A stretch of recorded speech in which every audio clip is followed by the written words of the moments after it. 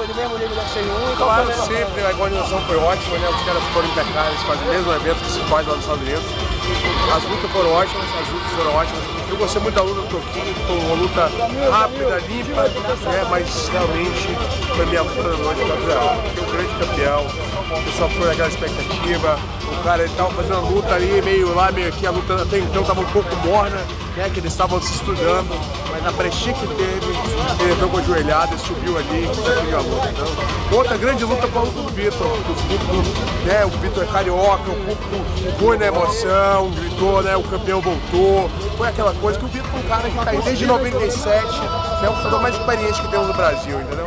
Então foram, digo essas três lutas, mas a luta do foi a luta do. E a última, Lula, o que, você acha que ele pecou? foi pra galera, né? Pra galera, literalmente. Li- Lula, teu companheiro também, querendo ou não, ele treina com o teu técnico. O que, que ele pecou hoje aí? Por que, que ele vacilou com o Napão e perdeu no, de- no primeiro round? Eu acho que o Lula acho que perdeu um pouco da experiência, né? O Napão é um cara mais experiente, entendeu? Isso aí faltou só aquele, aquela, aquele toque de experiência dele. O Lula tem várias vitórias, mas não é um lutador tão experiente como o Napão. O Napão acho que foi, foi mais sagaz e ganhou na experiência e conseguiu ganhar.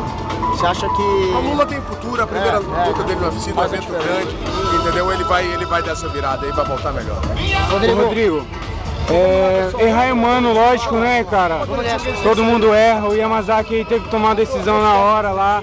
Mas comenta pra gente aí, o que, que você achou disso aí, da, da decisão Amigo, dele? a mesma coisa que aconteceu com o garoto, que ele foi punido batendo na cabeça e o juiz falou pra, pra ele parar de bater na cabeça e, o garoto, e ele continuou batendo. Aconteceu na minha luta, entendeu? Tudo é momento. Eu parei, o juiz pediu pra parar de bater na nuca, eu parei de bater no nuca e parti pra guilhotina.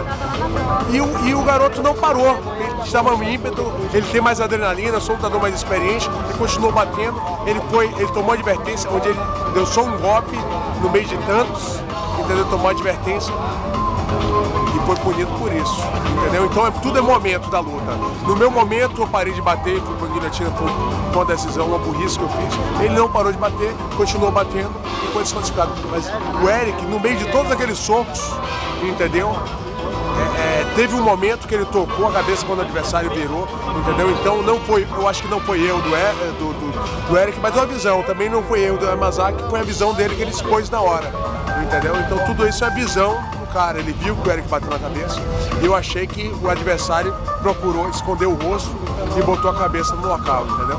Bacana, Rodrigo. Muito grato aí pela entrevista, cara. Vou mostrar aí pros seus fãs aí que você já tá bem recuperado aí seu braço, cara. E deixa um recado aí final pra galera, cara. Fica com Deus aí, a galera toda que apoia a gente. Tamo junto aí. Né? Obrigado a todo o apoio de vocês. Mais uma vez o UFC Rio foi um sucesso. Estamos aí. Em junho pretendo estar lutando novamente, lutando, talvez eu esteja no card de São Paulo. É, com fé em Deus eu vou estar lá e estou treinando já para isso. Né? Tô fazendo bastante fisioterapia e daqui a 15 dias começa a retornar aos treinamentos. Eu vi dizer que o Cigano vai defender o cinturão na Bahia. Você tá sabendo o que é disso, Minton?